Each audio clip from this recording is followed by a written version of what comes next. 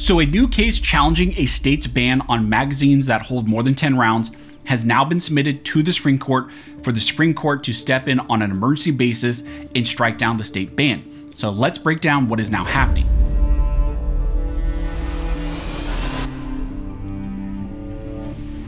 Now, really quick before we jump this video, I want to ask you all for a huge favor. I mentioned in a prior video, but we now have a legal guide available. It's going to be a digital guide. I will have links down below. There is a monthly, you know, charge for it, but it's simply to cover the cost of hosting it and doing all that. And also one of the really interesting utilities of it is I also cited to a bunch of documents. So for example, people in California, if you have Freedom Week magazines and maybe you ever get, you know, contacted by police or anyone ever has questions about how you legally have those, there are documents that directly quote to the decisions there. Uh, you can pull the decisions there from this legal document and just kind of condenses everything so you have everything you would need at the tip of your finger finger. So again, if you're interested, links are down below where you can sign up. So as I mentioned in the intro, in this video, we're gonna be talking about a case which challenges a state's ban on the purchase, possession, and use of magazines that hold more than 10 rounds. Simply, this is a challenge to a state's ban on so-called LCMs, magazines or large magazines. And really, we all know that there's simply standard magazines, but states love to ban these. And now we have a case, once again, filed to the Supreme Court. It's in front of the Supreme Court asking for the Supreme Court to step in on an emergency basis and strike down this ban. The state we're going to be discussing in this video is the Ocean State Tactical case. It's a case coming out of Rhode Island and it deals with the state of Rhode Island's ban on magazines that hold more than 10 rounds. You know, we've talked about a lot of other cases before. You know, I know people in states like Rhode Island wish I would talk more about their state, but we have so many states that put in place these bans and, you know, we try to cover it as much as possible. But now Rhode Island has their case in front of the Supreme Court, so we need to break down what is happening. So, for those not aware, just a couple days before the Supreme Court issued their decision in the New York State Rifle and Pistol Association versus Bruen case, the state of Rhode Island enacted House Bill 6614, which is their Large Capacity Feeding Device Ban Act of 2022. So, passed in 2022, just a couple days before the Supreme Court issued Bruen. Now, the act here does exactly what the name suggests. It is a flat ban on all devices and all feeding ammunition devices, you know, that are used in semi-automatic firearms uh, you know, targeting, you know, the basic handguns, rifles, shotguns, whatever, and essentially targeting any magazine that is capable of holding more than 10 rounds of ammunition. So, a broad sweeping magazine ban on some of the most commonly owned and used magazines. Now, this act here does not just make it illegal to manufacture, sell, offer to sell, transfer, or purchase these commonplace magazines and arms, but it also criminalizes the mere possession and use of these and allows the state to throw citizens in prison for up to five years, even if the arms that the state now deems, you know, criminal contraband were lawfully acquired prior to what happened in this act. Now, one of the also interesting things I believe about this specific act in Rhode Island is there wasn't a lot of leeway. There were only a few options. You could either permanently fix the magazines where they could no longer accept more than 10 rounds, you would have to destroy them or turn them over to the police. So, fearing, of course, that this type of law would be used against them, there were a bunch of plaintiffs that filed a lawsuit uh, you know, against the state of Rhode Island and the Attorney General in the state of Rhode Island.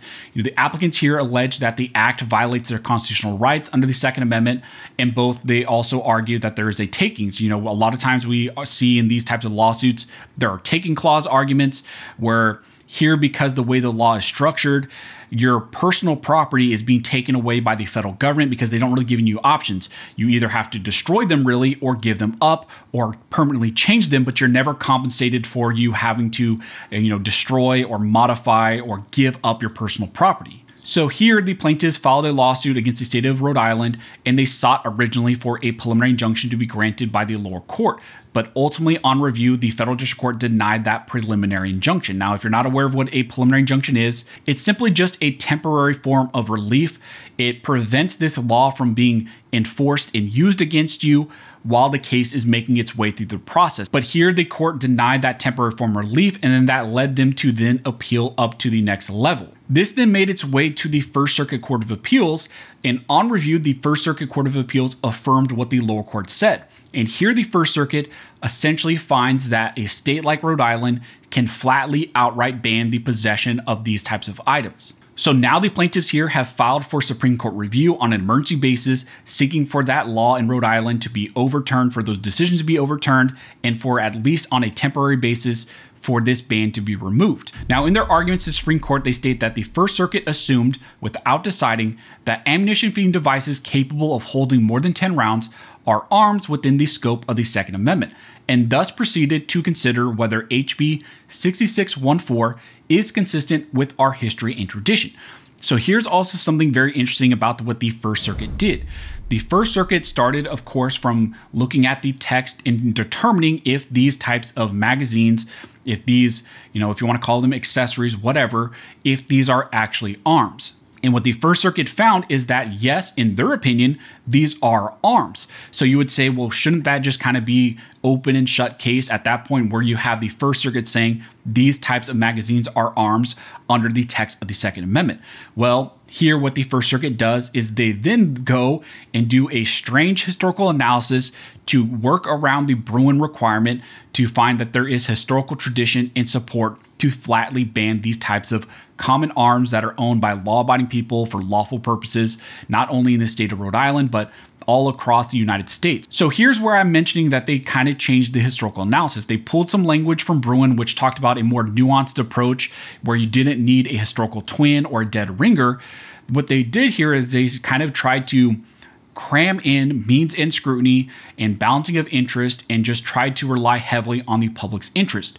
They said because the technology has changed so much, because this is new technology and new societal concerns, we can take a more nuanced historical approach and essentially meet any justification that we want because if there's this broad sweeping public interest in maybe getting rid of these items, we can say that, yeah, the state is justified in banning them. Here, what the plaintiffs state is that that backdoor means and scrutiny, not surprisingly, led the court to defer to the state. And then you're also seeing this weird argument that's been struck down before, also in Heller, where you can ban something, at least according to the states here, you can ban something as long as there is an alternative.